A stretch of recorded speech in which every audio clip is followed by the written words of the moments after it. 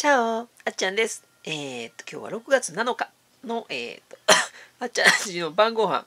なんかね、喉がおかしいんよ。うん、で、咳出ちゃうの。うんで、えー、っとね、今日の晩ご飯。えー、っとね、ヒカルのリクエストで、えー、麻婆豆腐が食べたいって。で、量は、えー、っとね、辛口ダメやから、甘口で作ってってヒカルが言うから、めんどくさいねんけど、っていうかね麻婆豆腐の素買ってないし、まあ、一から作るのもなと思って。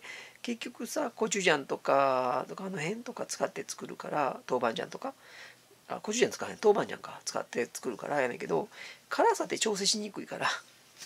麻婆春雨があったの。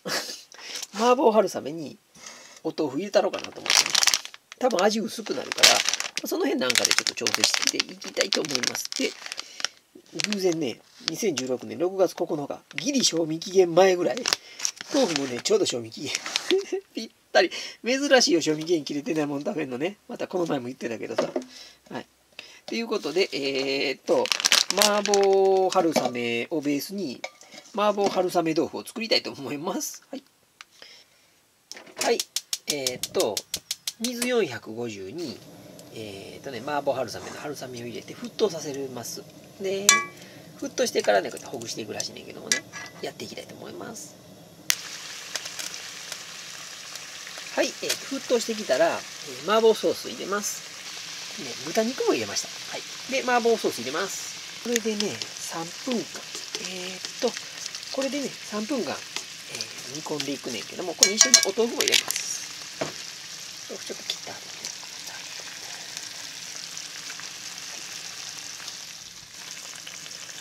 お豆腐が崩れへんようにねもっと優しく優しく、えー煮込んでいきます。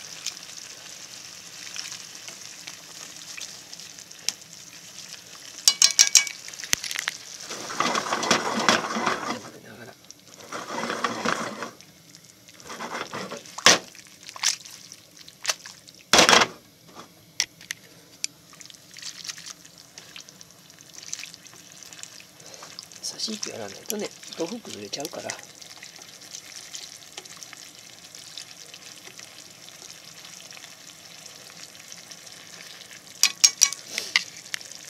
で3分間煮込めば完成です。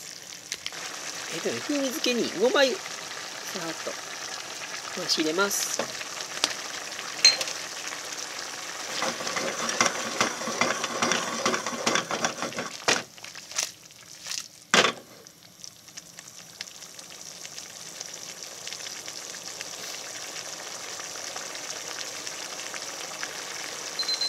3分経ちましたってことでね、えー盛り付けて食べたいと思います。はい、えーできました。ということで、えー食べたいと思います。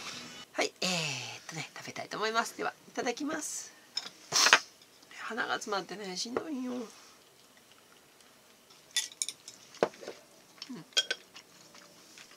美味しい。白米でね。白米はほんま幸せや。でもね鼻が詰まってねつああった、ね動画撮る前にやっとけっちゅう話やねんけどね。ごめんね。はい。いつも自然体なっちゃうんで、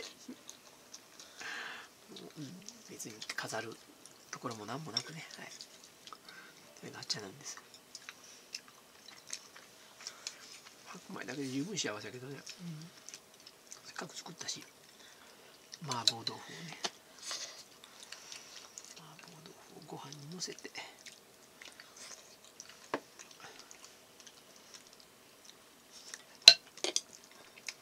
麻婆丼みたいにして食べてほしいもんね,、うん、ねお豆腐うんちょっと味がね染みてないな。でも、うん、美味しい美味しい。春雨んとこも美味しいし。もう豚肉追加したのが多分ね美味しい、うん、豚肉入れて正解かも、うん、白ネギ買ってきたらよかったけどね。うん。今回白ネギ買ってきてない。薬味用に青ネギ買ってきてんけど白ネギ入れても美味しいと思うよね。うん。長ネギして乗せても美味しいかも、うん。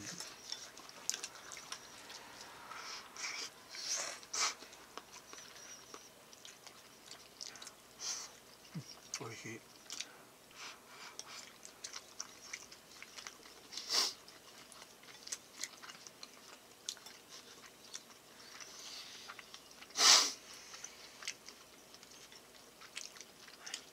鼻が詰まってしんどいわ。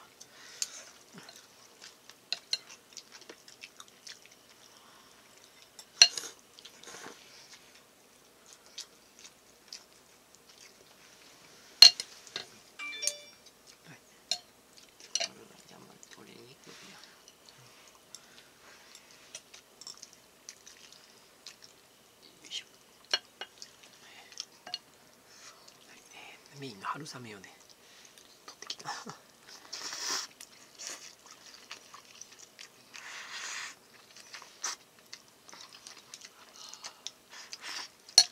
どう味。ん。美味しい？ガルはガルは美味しい、うん、なんか今までね昼寝してたんよ。学校から帰ってきて。昼寝って言うんかどうか分からへんけどね。寝起きやからしゃべりよらへん。自分でさ、うん、リクエストしといて。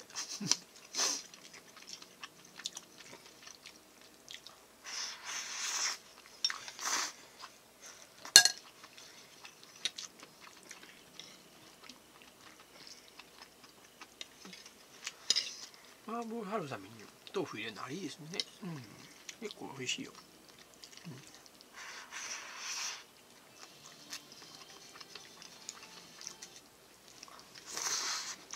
食べたかったからね、うん、日丁買ってやんねん、うん、明日は冷ややっこにでもしよう。なんか早くね、うん、体が求めてんのか分からんけどお豆腐とか納豆とかね。うん、豆乳とかね。なんか、うん、大豆系のもん欲しがってんのよ体が、うん、自分が欲しがるものこう食べるようにしてるから。心のままにいったらねなんか最近大豆系が多いね、うん、イソフラボンを取ろうとしてるのかもからね、うん、ホルモンのバランスが結構、こう波あって崩れてるからね、うん、ちょっとね疲れマシになってきたの最近、うん。しんどかったんよ。ゴールデンウィーク明けぐらいからね,、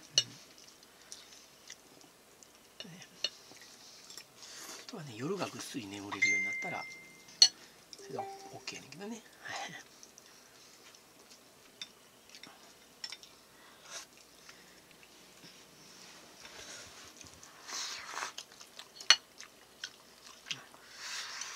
ということで、うん、晩ご飯。みんなでゆっくり食べていきたいと思います。はい。うんうん、動画止めへんかったら子供ちゃん喋らへんしね、うん、静かな晩ご飯は寂しいんでみんなで食べるときはわいわい喋りたいと思います。ではまたね。バイバイ。